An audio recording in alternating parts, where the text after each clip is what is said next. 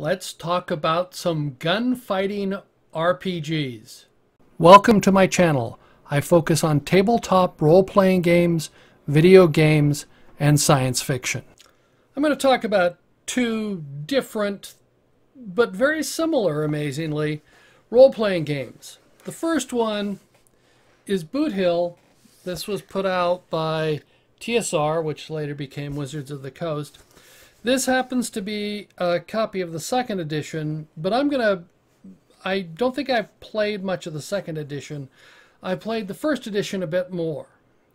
And the other game I'm going to talk about is much more obscure, and it's called uh, Adventurer, the game of man-to-man -man brawling in the far future by Yaquinto um, Publications.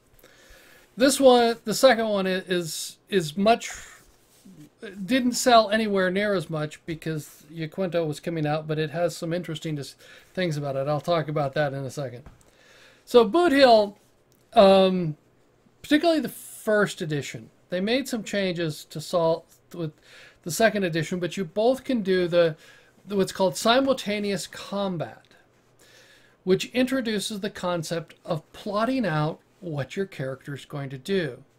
You plot out so many moves in, in advance, and I can't remember how many it is, of what you're going to do for each of the next few seconds. And that's what your character is going to do. And you can have some reactions and things like that. And it's um, an interesting game. The game starts off, I this is my recollection of the Boot Hill.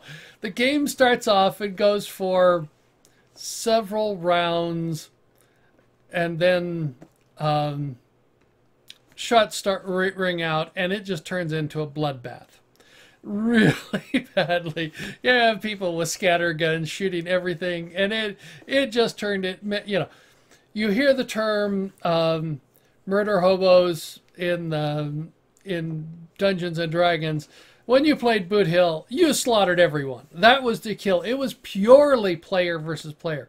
Well, not quite. You shot everyone else in the town too, but the, it was it was often player versus player because you wanted to uh, win the win the round, and it was it was okay. There were some yeah, it wasn't it wasn't the greatest the the most amount of fun.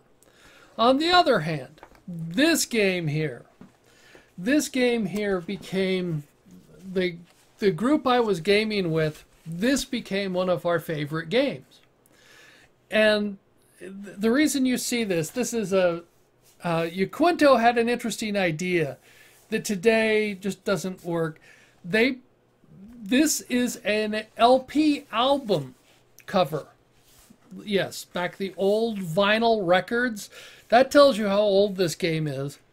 And the idea that they were using was that they, um, it's a, uh, that they would use the box. In fact, on the back it says, um, uh, album, let's see, not a phonograph record, A game only. it's got a warning up here saying that it's not a record. Uh, because that was what the, the idea was that they would save on cost by using fitting everything into the uh, record album. Now this one used the same thing. This one you plotted out. And as you can see, you have the classic lightsaber lightsaber versus blaster battle. And it's it's it turned into perhaps it was it's the group that we were playing with it this turned into just a, the barroom bar, brawl. It is. It's a barroom brawl. And the brawl ends when somebody shoot uh, when a laser blast goes or something goes crashing through the windows or something like that or everybody's dead. So you, you tried to aim so you didn't shoot out through the windows and things like that but things happened and um, barrels got thrown and tables got thrown. That was what was great about this one was the mechanics for handling throwing things like tables and chairs and rolling barrels and things like that. That's what made the game a lot of fun because it was the simple mechanics to do that and it only worked when you had simultaneous play because you had planned to do something and a barrel would be ro rolled in front of you which would cause problems or you'd get hit by a barrel or a table or a chair or various things and besides other people shooting at you. That's what made this a lot of fun but both of them dealt both boot hill and adventure had one thing in common and at least it was in the advanced rules or optional rules for boot hill which was that you plotted out what you were going to do very different from what you see in most role-playing games. You just say, oh, you do one turn at a time.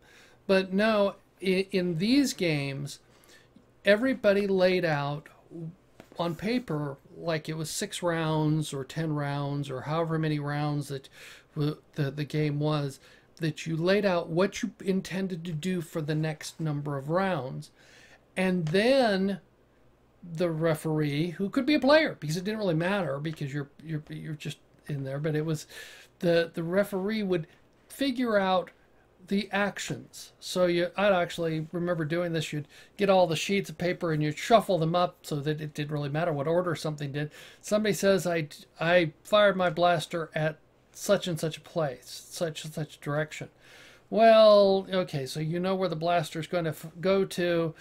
So you, you mark that you mark that down. Then you go to the next player and see if he moves to that spot and moves away from that spot. If a barrel rolls into that spot, what happens? So you go through and the the actions and you could start a barrel and I remember barrels then became like characters that were rolled and they would roll along until they hit a wall or something like that. And so that they could be rolling for several turns before they hit a wall and they moved X number of squares at a certain rate. And it was, so you plotted those out and characters go, oh, I stepped into the path of the barrel and get hit by the barrel. And anyway, or I just barely avoided the barrel. It was a lot of fun. This one was a lot, I found this one a lot more fun than I did Boot Hill. But it, it's an interesting question. And I haven't seen any other role-playing games in that I've been looking at that do the simultaneous combat, where you plot out what you're going to do. And this one is, you know, you do have to have uh, the grid, uh, which was necessary. We never use this this one. We always use the bar, the bar, and you put you put tables down. Tables were tokens, and chairs were tokens, and it, you would shoot them. And it was when uh, uh you'd plot out where you're moving from each piece to each piece. The playing on the starship grid was sort of boring, it because there were too many walls, and it wasn't as much fun. But this was the it, it they're they don't the games don't last very long because things just happen. They this says uh, average playtime one to two hours, and I vaguely think it's probably closer to one hour most of the time. And so they're a shorter, shorter adventure, and you just uh, go through this. But th these were both hilarious games. I really wish this one. I was seeing this. That this there's a copy available, but it's really expensive, and um, but that would be. Uh, I wish some would come back. Some of these would come back because they were. It was a lot of fun to play in a group particularly around the table, and uh, people were uh, trying to kill each other. And it was all, both this and Boot Hill were player versus everything. You player versus non-players, player versus players. You wanted to kill everything generally in the game. And it was a lot of fun because that was what you you wanted to do. And it was uh, very violent, shall we say, but it was a. But I have very fond memories of these two games. So tell me, what do you think? Have any of you played either of these games? have you um, had any adventure uh, experiences? Are there some other role-playing games that use simultaneous combat where players lay out their moves in advance and plot them out? I'd like to hear those kind of comments um, thank you for watching my video. I look forward to learning what you think about this video. Let me know in the comments below. I appreciate all your comments. If you like the video, give it a thumbs up. If you don't like the video, give me a thumbs down. I appreciate both forms of feedback. If you're new here and would like to subscribe, you can click on the icon on the left. If you're interested, there's more content on the right.